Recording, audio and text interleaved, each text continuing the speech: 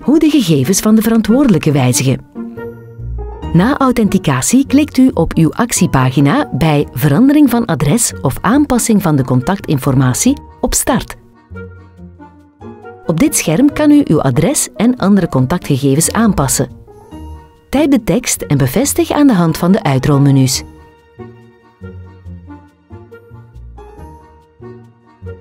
Indien u wenst, kan u hier ook aanvinken om uw persoonlijke gegevens vertrouwelijk te bewaren.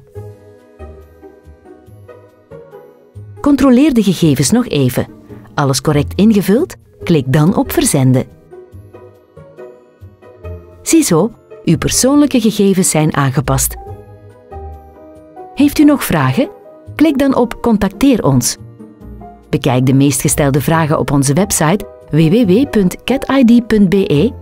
of neem contact op met onze helpdesk.